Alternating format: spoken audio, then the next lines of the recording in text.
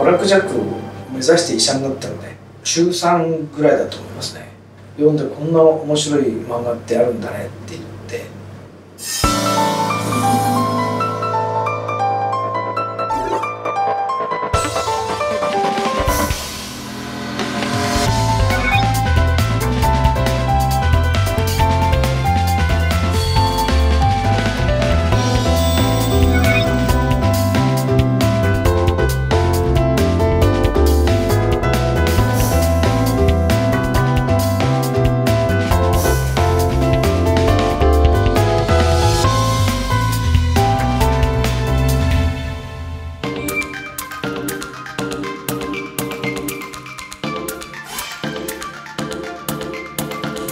例えば、はい、5箇所であの最終的に全部ブラックジャックを使いいただくんだったら、はい、全部絵柄を変えましょうか。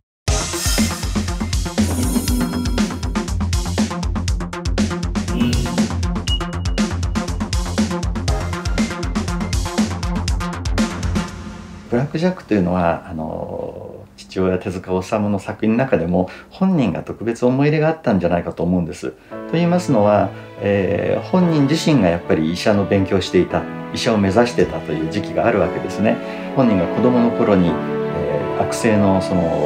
病気にかかってそれをあの治してくれたお医者様がいて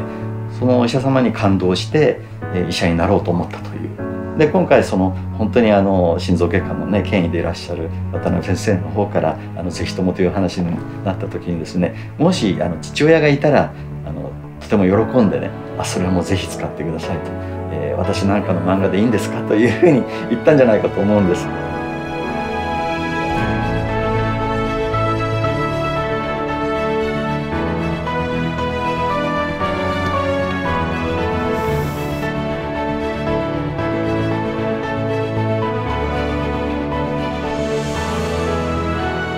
ブラック・ジャックはやっぱり患者さんのことを一番に考えた医者だと思うしねブラック・ジャックみたいにやっぱり失敗をしない外科医に